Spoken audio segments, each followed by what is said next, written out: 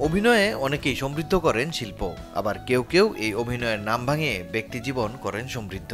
অভিযোগ আছে তেমনি এক উঠতি নায়িকা মডেল তাসনিয়া রহমান, যার বিরুদ্ধে আছে ব্ল্যাকমেইল ও অর্থ আত্মসাতের একাধিক অভিযোগ।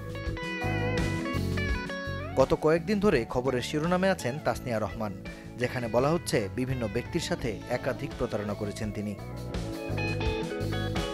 মুন্সিগিরি কাজল রেখার মতো ছবিতে আছে তাসনিয়া রহমানের উপস্থিতি। অভিযোগ আছে, এই পরিচয়কে পুঁজি করে ধনাঢ্য ব্যক্তি ও শোবিজ তারকাদের সাথে অন্তরঙ্গ সম্পর্ক গড়ে তোলেন তিনি।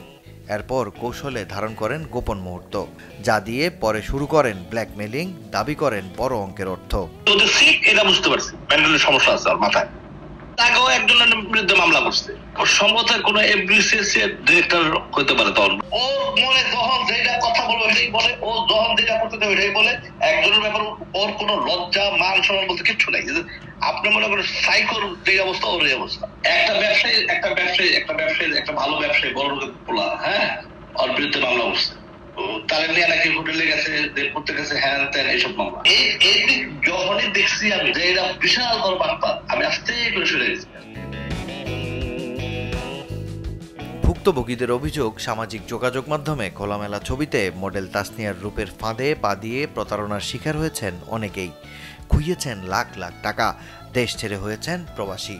তার সাথে আমার ওয়ান টু ওয়ান কোনো সম্পর্ক ছিল না। সে আমার অর্ডিনারি আর দশটা ফেসবুক ফ্রেন্ডের মতোই ফ্রেন্ড ছিল। হঠাৎ আমার একটা খুব কাছের একটা বন্ধু সে তার সাথে খুব মেলামেশা শুরু করে। তুমি তো ভালো ছেলে, ও তো ভালো না, তো ওর সাথে তো তোমার না থাকাই ভালো, এতটুকুই। ওই ব্রেকআপ কেন করলে? ব্রেকআপের রেস ধরে এখন আমার উপর জিত, আমার নামে একটা স্ক্রিনশট মেরে দিল আমার কিছু ফ্রেন্ড ছিল, তখন ওই রেস্টুরেন্টেই ছিল, তারা হঠাৎ খেয়াল করে যে একটা মেয়ে এখানে ঝুলতেছে ঝুলতে ঝুলতে হঠাৎ করে মাটিতে পড়ে গেছে। পরে আমার ওই ফ্রেন্ডরা রেস্টুরেন্টের মালিক সহ, তারা তাকে নিয়ে যায় হসপিটালাইজ করে। তো এর পরিচিত কেউ ওরা চেনে না। কিন্তু ওরা একে দেখে চিনে ফেলে যে ওর সাথে আমার একটা ফেসবুকে প্রবলেম হয়েছিল। তখন আমাকে ফোন করে ওরা ছবি সহ পাঠায়, বলে যে দেখ, ঘুমের ওষুধ ছিল। Work as a Facebook model ওরা মিডিয়ার কেউ না they don't belongs to media model পরিচয়ের অন্তরালে এমন অপরাধমূলক কর্মকাণ্ড সবিজ অঙ্গনকে প্রশ্নের মুখে ফেলে বলে মনে করেন ফ্যাশন শিল্পের উদ্যোক্তারাও। যদিও তাসনিয়ার বিরুদ্ধে হয়েছে মামলা, তবে পুলিশ জানিয়েছে সুনির্দিষ্ট অভিযোগ পেলে তদন্ত করে ব্যবস্থা নেওয়ার কথা। এগুলো তো আমাদের আইনেই বলা আছে। ডিজিটাল সিকিউরিটি অ্যাক্টে ব্ল্যাকমেইলিং বা অন্যের পরিচয় অবৈধভাবে ব্যবহার করার বিষয় তো আমাদের আইনে বলা আছে। এটা আমরা এইসব ক্ষেত্রে অভিযোগের ভিত্তিতে আমরা আইনগত ব্যবস্থা নিই। আর এগুলো মনিটরিং বলতে আমরা ওভারঅল আসলে সাইবার মনিটরিং করি। এর মধ্যে এই সব ইস্যুগুলো যখন চোখে পড়ে তখনও আমরা প্রয়োজনীয় ব্যবস্থা নিই আর কি।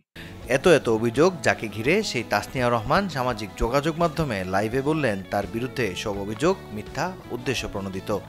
এই দেশে তো আসলে যখন কেউ মুখ খুলে মেয়েরা যখন মুখ খুলে তার ক্যারেক্টার নিয়ে বলা শুরু হয় তার ছবি নিয়ে বলা শুরু হয় আমি ক্লিয়ারলি আমার ফেসবুকে কিন্তু অনেক উল্টাপাল্টা ছবি আছে।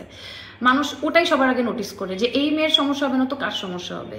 এদিকে আদালতে বিচারাধীন মামলা নিয়ে জনসম্মুখে এমন মন্তব্য অপরাধের সামিল বললেন এই আইনজীবী।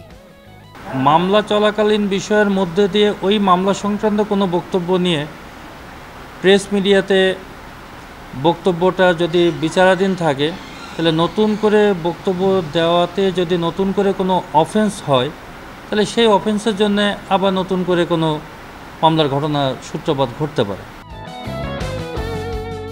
সংশ্লিষ্টরা বলছেন, মডেলিং কিংবা অভিনয়ের আড়ালে উঠতি গুটি কয়েক শিল্পীর এমন অনৈতিক কর্মকাণ্ড বরাবরই শোবিসকে ফেলছে প্রশ্নের মুখে, যা কারোরই প্রত্যাশা নয়। Desk report, channel twenty